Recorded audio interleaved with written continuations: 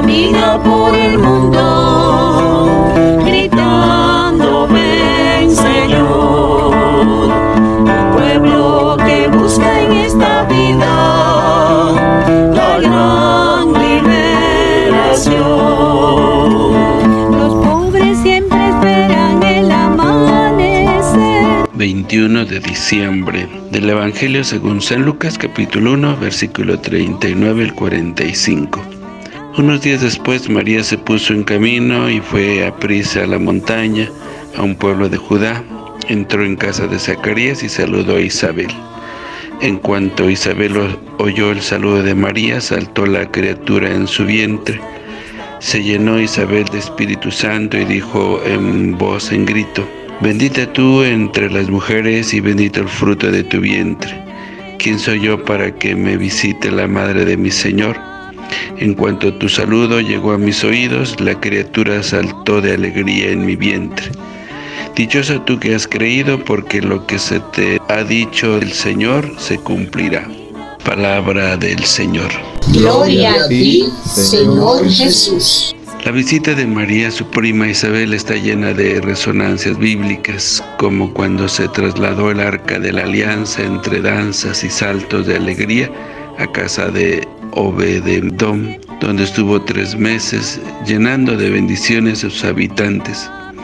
María, que acaba de recibir del ángel la trascendental noticia de su maternidad divina, corre presurosa por la montaña a casa de Isabel, ofrecerle su ayuda en la espera de su hijo, llena de Dios y a la vez servicial para con los demás. María es portadora de sus, en su seno del Salvador. Ella misma, arca de la alianza, y es por tanto evangelizadora. La buena noticia la comunica con su misma presencia y llena de alegría a Isabel y al hijo que salta de gozo en sus entrañas, el que será el precursor de Jesús, Juan Bautista. Es significativo el encuentro de Isabel y María, dos mujeres sencillas del pueblo que han sido agraciadas por Dios con una inesperada maternidad y se muestran totalmente disponibles a su, a su, voluntad. Son un hermoso símbolo del encuentro del Antiguo y el Nuevo Testamento, de los tiempos de la espera y de la plenitud de la venida. Llena de gracia, Isabel canta la voz en grito, las alabanzas de Dios y de su prima, en quien reconoce la madre de mi Señor. Con su alabanza Isabel traza un buen retrato de su prima, dichosa tú que has creído. Las lecturas nos hablan de alegría, alegría que ante todo llena el corazón de Dios. Él se goza y se complace en ti. Él te ama y te llenará de júbilo por su causa, como en los días de fiesta. Alegría en las dos mujeres, María e Isabel, que experimentan la venida de Dios Salvador. ¿Sabremos experimentar nosotros esta alegría que Dios nos quiere comunicar? Para ello debemos tener ojos de fe y saber reconocer la presencia de Dios en las personas y los acontecimientos de la vida como Isabel y María supieron reconocer la presencia del misterio en sus respectivas experiencias. Saber ver a Dios actuando en nuestra vida de cada día, en las personas que nos rodean. ¿Viviremos la Navidad con gozo interior o solo de palabra, cantos y regalos externos porque toca? Después de tantas invitaciones a cantar de júbilo por parte de Sofonías o de Isabel o y su hijo Juan, de María la llena de la buena noticia, y sobre todo de Dios mismo, que según Sofonías celebra jubilosamente su amor como en una gran fiesta.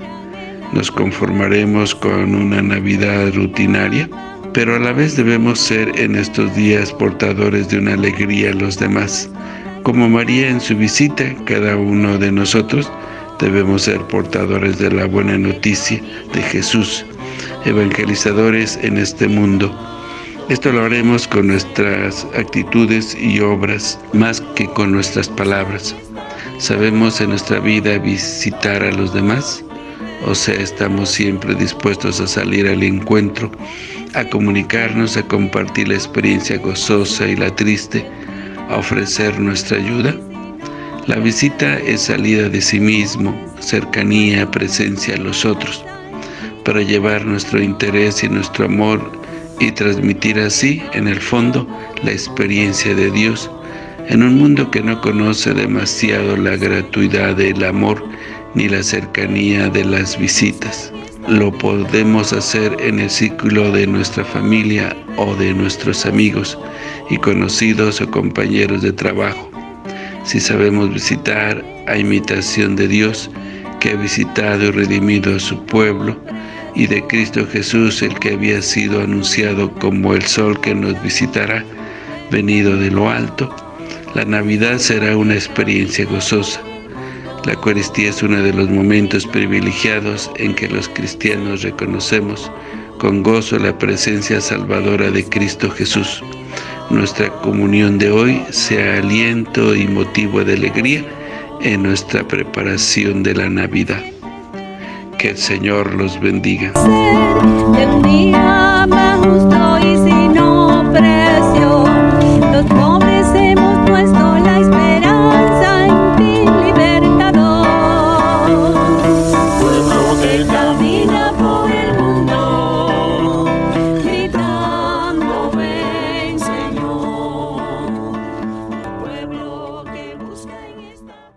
Bendición de Dios Todopoderoso, Padre, Hijo y Espíritu Santo, descienda sobre ustedes, que los acompañe siempre. Que el Señor los bendiga. Si te gustó este video y deseas seguir recibiendo el Evangelio, misa en vivo, oraciones y muchas reflexiones más, ayúdanos a seguir creciendo. Suscríbete a este canal de YouTube. Activa la campana de notificaciones. Deja tu comentario, dale me gusta y compártelo con todos tus seres queridos. Que el Señor te bendiga a ti y a toda tu familia. Bendiciones.